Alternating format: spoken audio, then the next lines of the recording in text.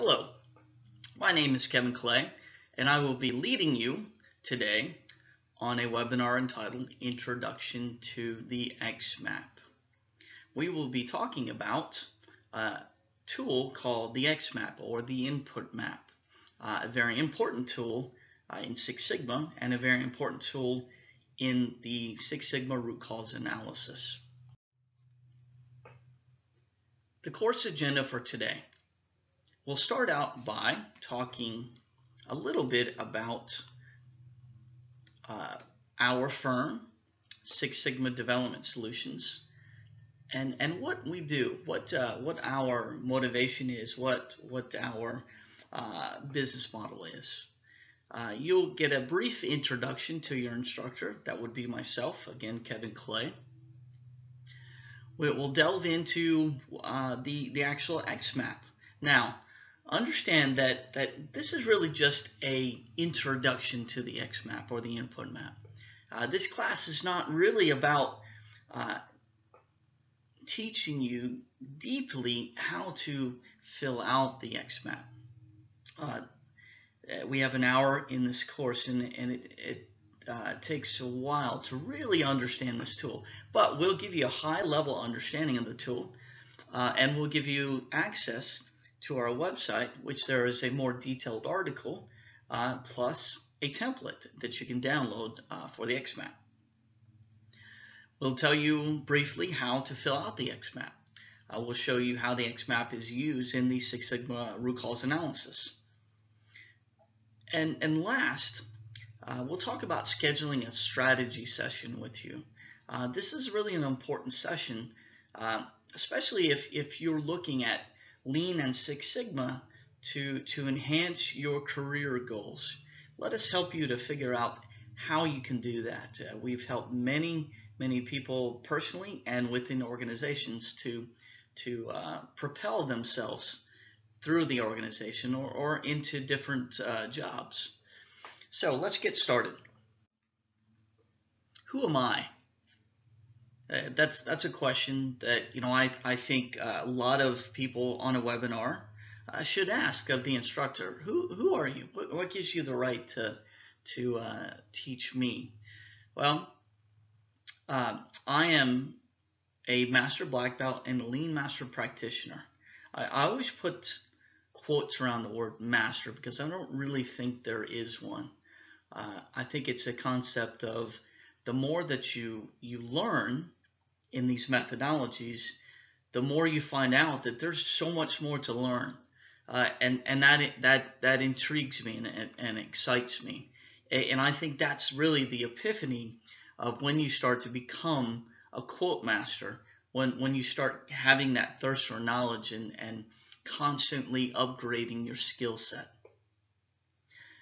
I am the president and the CEO of uh, Six Sigma Development Solutions. We are a global firm.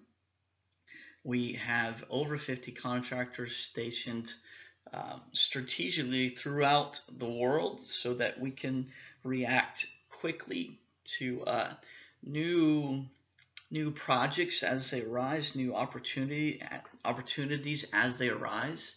Um, we work with many organizations across the globe. Uh, and and we, we love to work with you, you and your organization. Uh, you see there is my, my email address. Uh, I give all of my students uh, my personal cell phone number. So if you ever have any questions, please call me, email me, text me, uh, uh, send me information any way that you know how and and I may not be able to answer you uh, quickly because I, am I'm probably teaching uh, or in project work, but but I will get back to you. So a little about myself and my credentials. I, I've had over 17 years operational experience in many different disciplines, like uh, manufacturing, all types of manufacturing, uh, distribution, processing, finance, retail sales, uh, worked with many insurance companies, uh, many healthcare companies all, all across the world, uh, IT companies, uh, worked in many different disciplines of in IT, uh, and I've worked with nonprofits and, and many local and state governments. So I, have been around. I've been around uh, quite a bit. I've I've seen a lot of things. I've seen uh, a lot of processes. I've seen a lot of processes fail, uh, and I've seen a lot of processes succeed. I've seen many implementations. I've been I've led many implementations, and and I've been a part of many implementations of both Lean and Six Sigma. And again, I've seen some fail, and I've seen many succeed. And and, and I and my colleagues really understand what what are the the true uh, traits or attributes of, of a successful implementation. So I, I personally have instructed 500 plus change agents across multiple disciplines. Um, I personally have led over 15 implementations in both domestic and global organizations. Uh, again, we work uh, in many countries around, around the globe. I've led or mentored over 80 Six Sigma industrial or transactional projects. I've facilitated over 110 Kaizen uh, or workout projects. Really, workout is is more uh, more specific uh, terminology when it comes to uh, to healthcare, but Kaizen and workout are, are basically the same thing. So again, myself and my colleagues, uh, we've we've we've seen a lot of things. Uh, we've seen a lot of processes, uh, and we use this knowledge, this experience, to, to really help transfer knowledge to our students. So as we teach these methodologies in our, our uh, green belt classes, black belt, master black belt, lean agent classes, we, we back everything we say, we back up everything we say with stories, with, with real world, real world examples, scenarios that really makes it come to life for the, uh, for the students, or makes it come alive for the student. Uh, and that's, that's a common theme in our, in our evaluations. In our evaluations, uh, uh we, we, see, we see a lot of this comment. You know, Kevin, it, it was like you, you were in, you've been in our industry, you've, you've, you've been in my my facility in my in my hospital in my business unit in my plant um, but you know, I, I know that you've never been there. So how do you know, you know, all these problems specifically that we're dealing with? Well, the answer to that question is again, your problems are replicated to other industries. Uh, and, and, we have seen and we have solved those problems. We have helped those uh, those those teams uh, to implement Lean and Six Sigma uh, and tackle those problems. So and that that makes you know the students feel really positive because they they they say okay well this has been done before. So uh, hopefully you'll have a chance to come into our, our uh, one of our classes and, and see this um, for or experience this for yourself. Now it's time to talk about the X map or uh, as I call it, the input map. So the input map is is really getting down to to the six foot view of the process. It's very important in Six Sigma that that we we think of all processes in in a, an equation, and that equation is y equals a function of x. Again, y equals a function of x. In the define stage, we are defining the y. We are defining the y, or the outputs. In the measure stage, we are defining the x, or the inputs, all right? In the analyze stage, that's where we really get into understanding the function that x has as it creates the y so that we can see what are the the most significant x's um, uh, that or I'm sorry what has the most significant effect on the y. So the the input map is is uh, it's it's a very important tool in the uh, in the Six Sigma tool set And this is where we should spend quite a bit of our time uh, understanding what all of those x's are. Because if we don't define an x, if we don't see an x, if we don't we don't uh, identify an x, possibility is that that x could be a significant x. Um, and and as we try to solve our problem, we're, we're not going to make as much of an impact.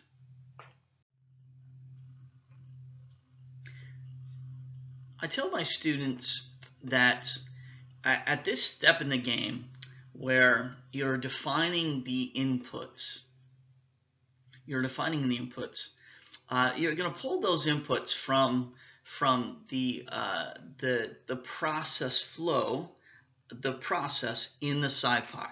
Now, in this webinar, we don't talk about too much about the SIPOC. Uh, we do have another web webinar that goes pretty deeply into uh, understanding what the, what the SIPOC is and what it's for. Right. So the uh, the uh, steps in your process, the P in your SIPOC, get moved over to understanding what your inputs are. Now, your your inputs can can be really identified and defined uh, many different ways. Uh, what, what I like to do in, in my projects and what I teach my students to do is number one, uh, to do what's called the input map or the X map, and we're going to show you how to do that.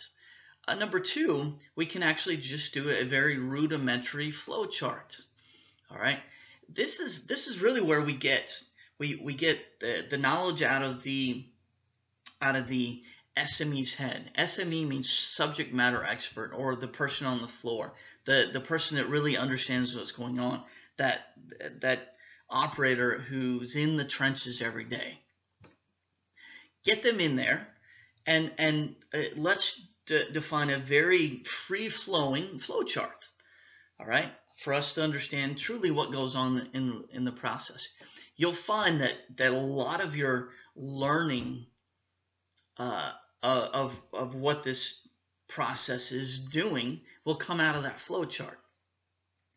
I, I also talk, uh, consult with my, my students and say, before you even get into doing the flow chart, before you ever put anything uh, on paper up on a wall, a flow chart using post-it notes, uh, etc., before you ever do any of that, it would be a good thing if you actually went out to the process and kind of watched it.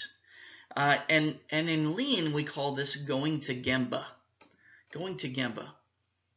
And we go to Gemba. We go to Gemba, and Gemba means the real place.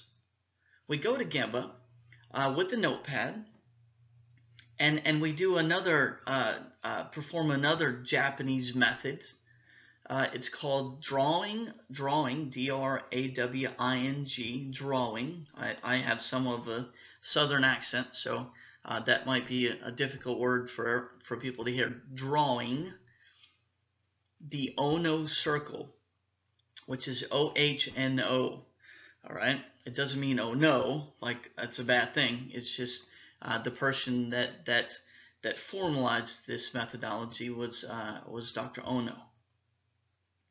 So go to Gemba, go to the real place, and and stand someplace out of the way, uh, uh, someplace where you can see the process. And in in in the Japanese methodology, they actually draw a, a uh, chalk circle around themselves, and they sit there with a notepad, uh, and they sit there for hours. They actually don't sit there; they stand there for hours, and and they take notes. They understand the process from the point in which the process is really happening. From doing this, you, your your knowledge of, the process is going to you're going to gain knowledge quickly. Uh, now, a lot of people ask me, well, if you go out there and, and you stand at the uh, in, in, the process, aren't people going to react differently? Yes, they are at first. All right, you, are going to um, uh, initiate something called the Hawthorne effect.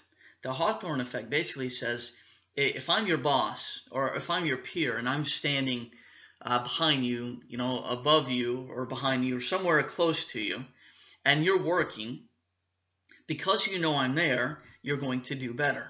All right, so that skews the results in the beginning. But over time, over many hours of standing there, they're going to forget you're there. Especially if you stand kind of someplace out of the way. And they're going to, to move back into the, their natural uh, flow, into their, their natural way of, of performing their job. And that's when the gems of knowledge will come out. All right, so again, I usually start out with a flow chart, a, a, a just a very rudimentary flow chart. Uh, in that flow chart, I use three colors, red, yellow, and green. Green post-it notes, all right, in, as we develop this flow chart, and I usually do this on a wall.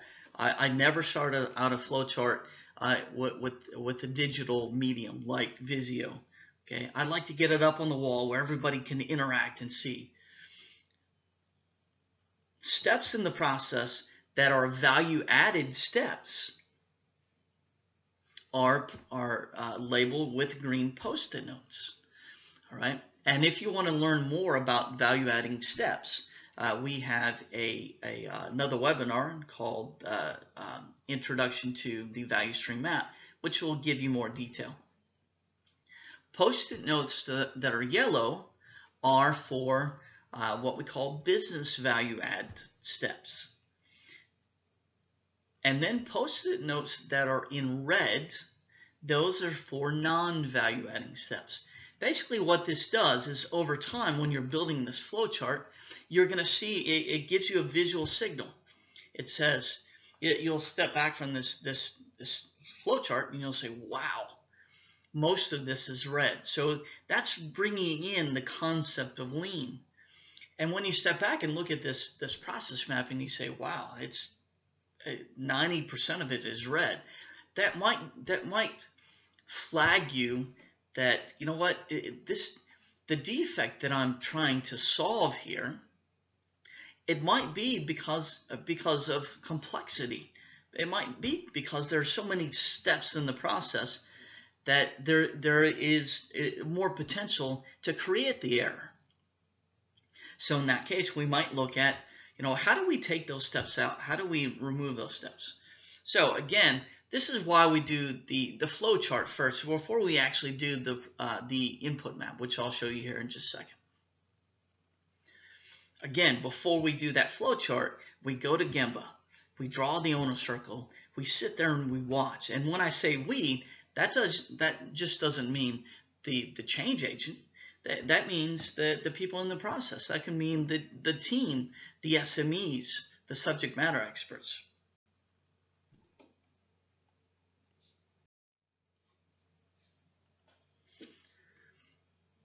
Now let's talk about the actual X map or the input map. And I'm going to take you through some of the steps uh, for the, the input map. Now the input map or the X map is, is really the second tool in the Allied Signal root cause analysis toolset or the Six Sigma root cause analysis toolset. The first step, I, I actually, let me back up. Uh, again, I said it, it's the second tool. The first tool is the SIPOC. And, and the SIPOC uh, again, uh, we talk about the SIPOC in depth in in a uh, another webinar in in our series of webinars.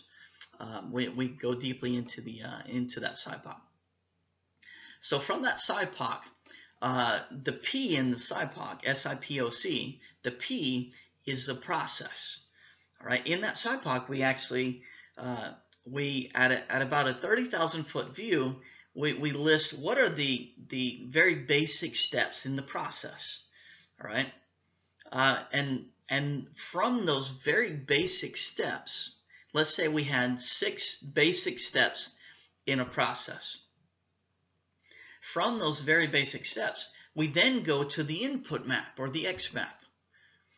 All right, from at, at this point, now each one of those basic steps, those six basic steps, and, and we're just picking six arbitrarily, but let's say we've got six basic steps. Step number one would, would actually be entered here. Okay, whatever that first step is, that's entered here under, uh, under process step one.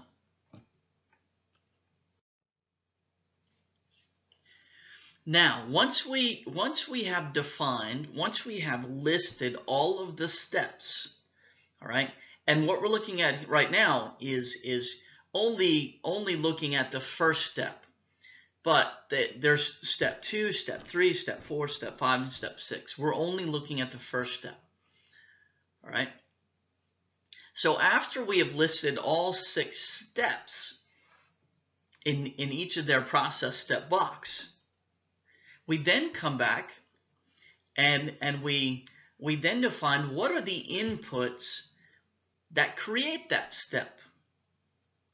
All right. This takes us back to that y is a function of x. In this case, each step is a y. All right, I'm sorry, not each step, but each step creates a y. Each step creates a y. Now we need to understand what are the x's and, and what are the y's that this, steps, uh, this step creates. So we, we look at the inputs, the process inputs, right? And, and we can define these a couple of ways. Uh, there, there, are a couple of methods to, to, to define these. Um, we should have our notes from, uh, from our going to Gemba. We should have our detailed notes from going to Gemba. All right, from those detailed notes, we can start putting in the inputs in kind of chronological order based on the notes that we have. All right. Or we could look at the the uh, inputs in in another in another way, uh, and we can break them the inputs out uh, based on whether uh, the input is man, machine, material, method, measure, or Mother Earth. All right. So that's basically uh, using what's called the six M's. So man, man is really labor. All right. So how does how does labor how does how does how does a a person um, uh, how do they interact with with that process step? So if this process step was making uh, you know the whole process, I guess would be making a peanut butter and jelly sandwich, and the first step would be let's say, getting the materials, uh, uh, getting your materials. So when it comes to man or labor, we would say, okay, um, th there has to be there has to be an operator. Right, there there has to be an, a, a, physical being there to to create the sandwich. All right, uh, when we talk about machine, Okay, machine could be um, that we have we have a a knife, a butter knife. All right, uh, that uh, material could be uh, the different materials that make up the peanut butter peanut butter and jelly sandwich, specifically. Uh, uh, crunchy peanut butter, Jiffy crunchy peanut butter, we could have strawberry jam, uh, certain make or certain type of strawberry jam. So what we're trying to get to here is we're trying to really understand what are what are the what are the all of the inputs that go into this step, and break that down by by uh, each of these segments. All right, and I will tell you that this is where people uh, make make uh, make the mistake of determining that an input is insignificant, so therefore I'm not going to put the inputs uh, in this column. Your job as a practitioner, as a, a, uh, a lean, uh, sorry, a change agent or a uh, uh, green belt, black belt, uh, lean agent, etc. Your job is not to make the decision that an input is insignificant. Your job is to collect data. Any input any input that goes into that process is significant. Any input that goes into that process is significant. So if I have if I have a a uh, recipe for making a peanut butter and jelly sandwich that I use, then then that's that's a very significant input. Um, if there is something that I have to write down as I'm making these peanut butter and jelly sandwiches so that I understand what I've done, the paper itself is an input. The pen or the pencil is an input. And you might think that's that's a pretty insignificant insignificant input. But what if I was making thousands of these peanut butter, peanut butter and jelly sandwiches? And and what I wrote down helped me to understand, you know, at what point I was in the process. And if I didn't have that, uh, if I didn't have that that uh, piece of paper or that pen, I wouldn't be able to do that. Therefore, that that might cause me to to make defects in the process. So it's very important that that we don't uh, uh, arbitrarily say, well, you know, I don't think that input's uh, significant, so therefore I'm not going to put it. Whatever we see, uh, we put down. This is again, it's very it's uh, it's optimal for us to go go to Gemba and kind of watch the process because that'll help us to really start to define all the inputs. Uh, some problems that I see a lot of my students um, do is we we we get the SMEs in, the, in in a room and we talk about what are the inputs. Well, the SMEs, you know, a lot of times take inputs for granted, like having a pen or a paper in front of them. Uh, that that just seems very insignificant. So therefore, it won't get called out. It won't get identified. So going out and and going to Gemba and seeing all those uh, specific inputs, it's very it's very important for us to do that because that helps us to really define what those inputs are. So if you have very few inputs into a step, um, that should, should be a flag.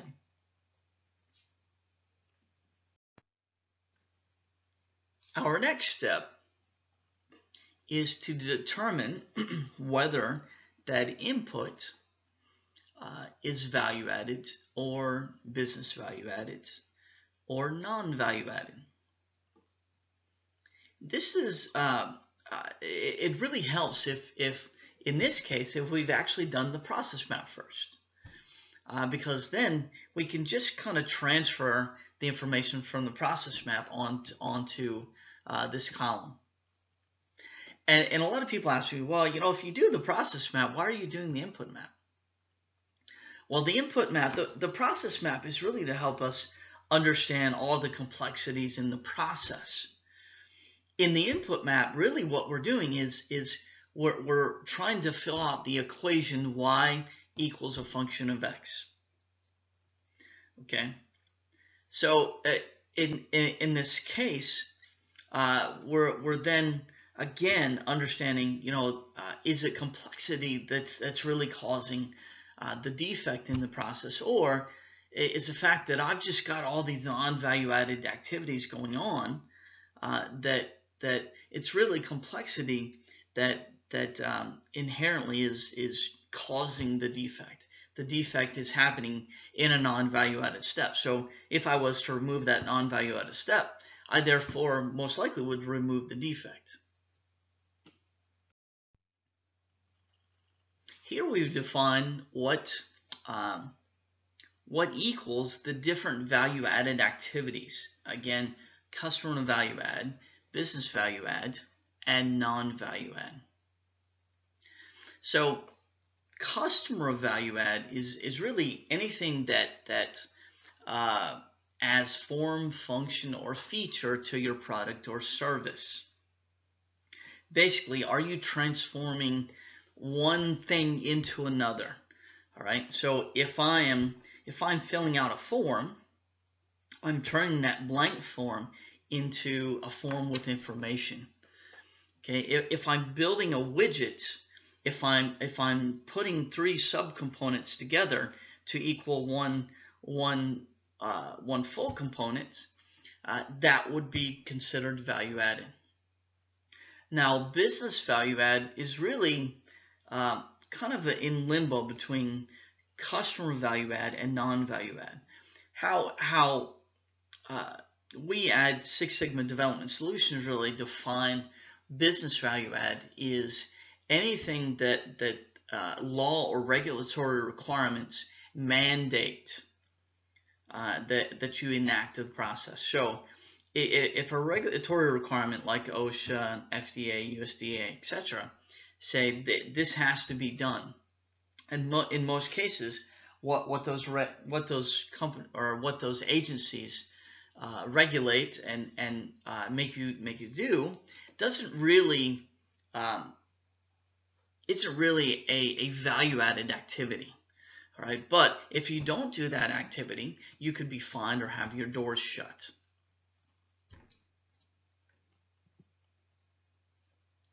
The most important activity to focus on is customer value, uh, customer value added.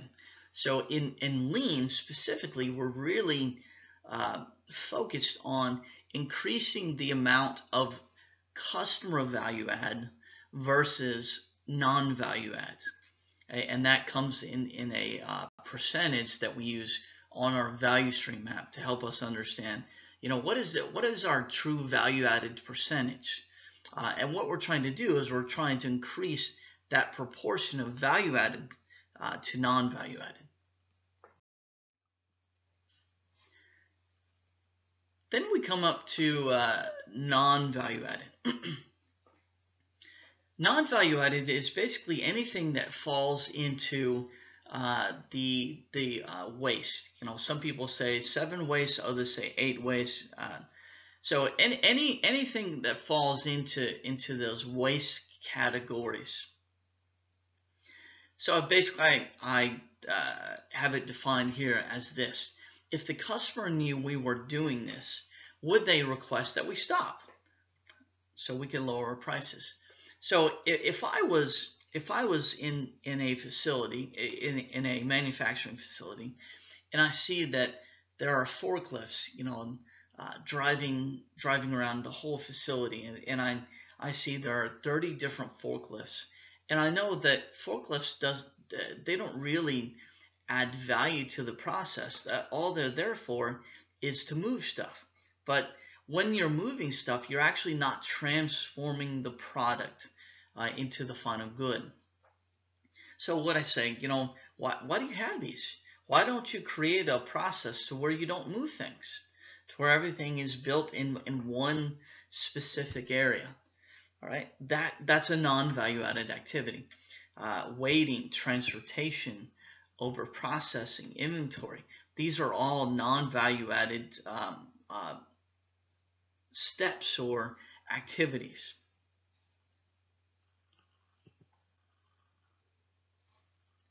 So in lean, our goal is to eliminate non-value add, uh, non-value added activities. Uh, our goal is to eliminate these. In, in, in, in some cases, you can eliminate the non-value activity by eliminating the step. So in, in one of my, uh, not one of my, but in, in uh, many of my classes, I, I started out by showing a, uh, a video of a, a very wasteful process. Um, and this is a great video because it helps them, helps me to to help them understand, you know, what waste looks like in an actual process. And in this case, it's really a service process. Uh, and then afterwards, we have the discussion, you know, what, what kind of waste did you see? Uh, and that kind of uh, lets the floodgates open up, and they they they define all these different wastes. And, and this process took it took 19 days in this process. Uh, I'm, I'm not going to talk too much about the the video. Uh, you'll you'll if you come to our class, uh, any of our uh, green belt, black belt, etc. lean agent classes we usually start this uh, start the class out with this video. Uh, and the video is, is a great tool to get you in the mindset uh, of both waste and variation. so we, we talk about the we, we talk about this waste and, and we talk about this process that takes about 19 days. Uh, and and we then ask them, you know, how would you improve the process? Uh, and they come back and, and we have a great discussion about that as well. Then we actually show them the video of the improved process, what this company did to improve this process. And they take it, uh, take it down from a 19 day process down to 23 minutes. And, and the whole class, every class I teach is, are, is just amazed. But, but they're also, they go, wow, that was, that was simple that there was there was there wasn't a lot to that. You didn't you didn't have to spend a lot of money on automation. You didn't have to spend a lot a lot of money in capital. You just did some, some a few very simple uh, tasks, re-engineered the process, and and it takes 23 minutes. And and that that starts the the benchmark for the rest of the class because during the rest of the class, they start to see, you know what, it really is easy. I, I really can do this. Uh, and and our, our thinking in our company or my thinking personally has just been so backwards. So uh, again, what we're looking for in in in the lean side of things is really to eliminate uh, those those non-value added steps. So in this in this film, we actually see where we have eliminated most of the steps in the process. And by eliminating a lot of steps in the process, we actually took the, the uh, defects that happen in those steps and, and we got rid of them.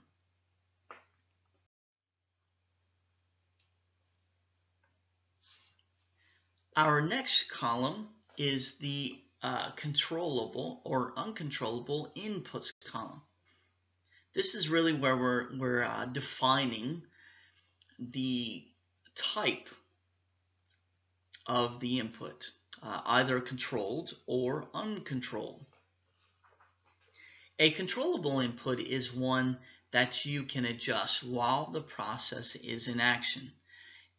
A uncontrollable inputs are, are inputs that you either can't control in the process or you're uh, will, uh, unwilling to control because of you know cost, company politics, etc.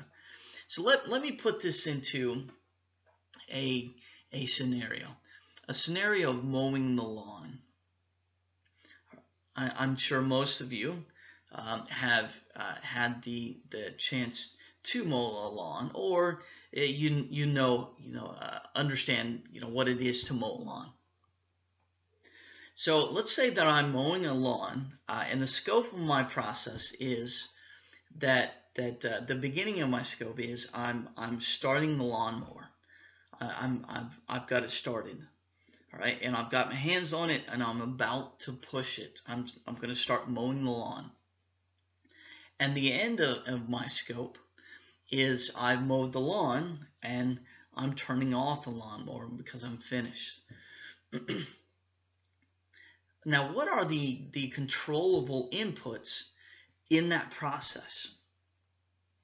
Okay, the controllable inputs could be speed. I can actually change the speed. I can change my speed while in the process. All right, I can slow down or I can speed up. I can change the the pattern in which I mow the lawn. So I might mow the lawn in an up and down pattern. Or I might mow the lawn in a pattern that's the shape of the lawn. I could, I could mow it in any kind of pattern. But I can change that pattern on the fly. I can also adjust the height of my cut. So I can adjust the height of the lawnmower. All of these things I can actually change while the process is is um, uh, proceeding, going, uh, it, while it's in the process, while it's in process. Now, uncontrollable inputs are things that I can't control while in that process. Um, I, I can't control the weather. Okay, can't control the weather. I can't control uh, whether my blade is sharpened or not. Now I can I can control that before the process, previously to the process. But if I'm in the process and I and I start to understand that my lawnmower blade is not sharp because it, it's it's not cutting the grass uniformly, uh, I can't sharpen the blade while in the process. I don't know about you, but I don't I don't necessarily want to turn the lawnmower over while it's running and sharpen the blade. In that case, I would have to stop the process that I'm in and start a new process. And that new process is removing the blade, sharpening the blade, uh, reassembling the blade, and then, then I can start my process of mowing the lawn uh, over again. But again, sharpening the blade would be a new process. I can't sharp I, I can't control whether it's sharpened or, or not in the process. So under type is where we determine whether our input is controlled or uncontrolled based on the definitions that, that we just learned. I will tell you that if you if you have an operator, anytime that you have a human as an input, that human is always uncontrolled. Uh, the reason being is is humans can can uh, their their their demeanor, their personality could change day by day. All right, so I could have an operator that comes in one day uh, and he, he's just won the lottery. He, he's won $500 in a uh, scratch off. Pretty happy, happy guy. You know, I just won 500 bucks. That next day, driving to work, he gets uh, T-boned by another car. All right, so you know he's not hurt, uh, but but his car's damaged, and he's got he's got a $500 deductible on his insurance. So all the $500 that he just won is now going towards his deductible. Plus he's late for work. So he comes in that day and he's not very happy. So uh, do you think there would be a difference between uh, his, his output each day? Uh, yes, yes, definitely. Now, we can't control the operator, but what we can control is his environment. The more controlled his environment is, all right, the less chance that there will be variation between the day that he won uh, $500 in a, in a scratch off ticket and the day that, you know, he got hit by a car. So again, we can't control the operator. What we can control is his environment, his or her environment. So again, this is a really important uh, uh, column to us because it helps us to understand uh, is our is our process you know what's what can we control or not control in the process uh, and that helps us to understand you know where where where do we focus first when we start to to actually improve some of these key inputs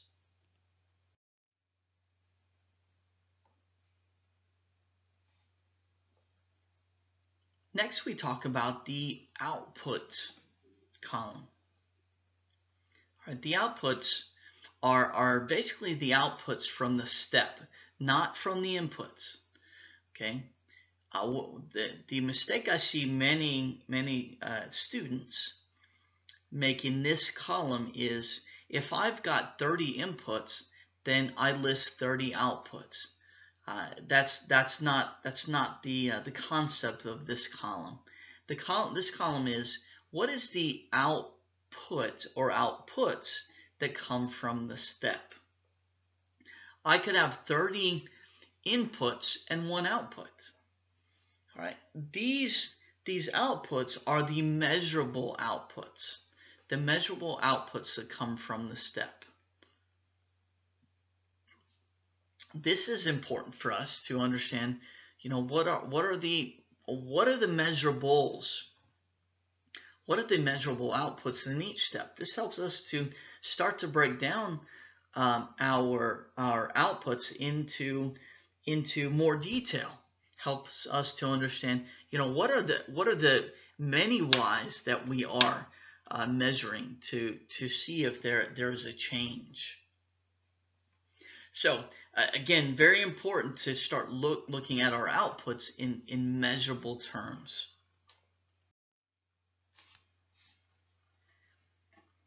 in another tab that you will see when uh, when you download the uh, uh, the Six Sigma root cause analysis, which includes the SIPOC, uh, the the input map, uh, and it includes the C&E matrix and the FMEA.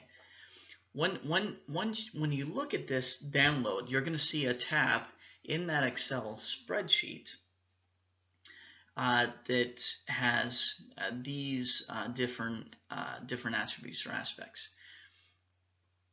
It has a column called controlled and measurable input variables, targets, uh, LSL, which means lower spec limit, and USL, which means upper spec limit. This is where we start to put in uh, our inputs from the input map, from the X map, that actually have measures, that actually have specifications. That this is really what, where we start to understand, you know, what what what can we start to understand capability? How can we start to understand capability of our inputs? All right. Uh, th this again drills down into those measurements and helps us understand uh, of our our many inputs. What can we actually put a ruler to? What what what do we have that has a target, a lower uh, and or upper spec limit. This is really important for us to understand when we get into the, the actual um, uh, measuring of, of capability, of uh, control, uh, of what, you know, what, what make, what, what's different in, in, uh, in this process, where you start doing multivariate analysis, uh, statistical analysis, hypotheses testing. As part of our webinar, we would like to give you access uh, to an article which uh, basically has a lot of the information that we talked about uh, in this webinar. So this article actually gives you uh, the detail of how to fill out uh, a, a X map or an input map, uh, also called a variables map. And uh, the access is it, basically this link will take you to to that uh, to that article. In that article, we we actually give you access again to a um, uh, template, and this template is is the uh, uh, root cause analysis template. That in that template it gives you access to the the SIPOC, the input map, the C&E matrix, and the FMEA. Now, to learn how to fill all, all of these tools, we have a series of webinars uh, to teach you how to fill out each of the tools. Um, and, and if you uh, uh, go to our YouTube site, you'll see that.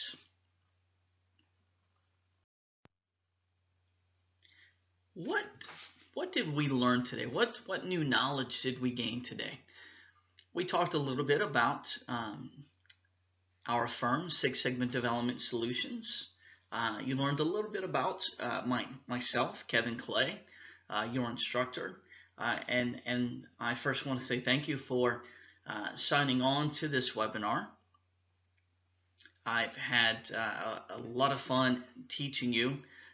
There are many other webinars that we have in this series that, that I think you would enjoy we learned about uh, the introduction to the XMAP. It gave you, it gave you a little background on the XMAP, the input map, uh, how it fits into the uh, Six Sigma root cause analysis. We talked a little bit about some of the things that you can use in conjunction with the XMAP, like uh, just a, a very uh, rudimentary process flowchart uh, using red, yellow, and green post-it notes, and even before we do that, we really need to go out to to uh, to the process. Go to Gemba, see what's really going on. We showed you how to actually fill out the XMAP or the input map. Uh, we showed you how the XMAP again is used in the in the four tools in the Six Sigma uh, root cause analysis tool sets. So now I, would like to talk to you about um, scheduling a strategy session. Before I do that, let, let me back up.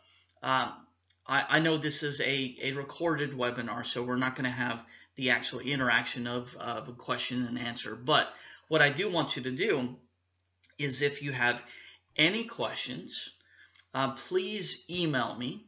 Uh, send me a, a text. Uh, get get a hold of me any way that you that you can. Uh, and and as we move to the next slide, uh, I'll uh, I'll give you the information again uh, that you can get a hold of me. But uh, I, I, would love to to hear your questions uh, or to read your questions, and I will get back to you as soon as possible. Most of the time, I'm teaching. my colleagues are teaching, so you know we may not get back to you immediately, but we will get back to you. So again. I'd like to talk to you. I'd like to talk to you about scheduling what we call a strategy session. So let's move into it all starts with a conversation.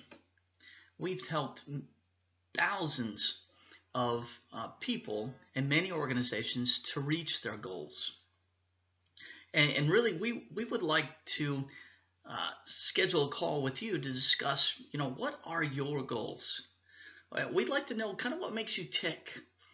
Uh, what are your career goals? What what are, what are your goals when it comes to uh, these methodologies, Lean and Six Sigma? And, and, I guarantee you, these these methodologies, if if learned correctly uh, and used correctly, can really help to propel you personally and professionally and your organization uh, to to new heights. You, you you can transform your organization and yourself.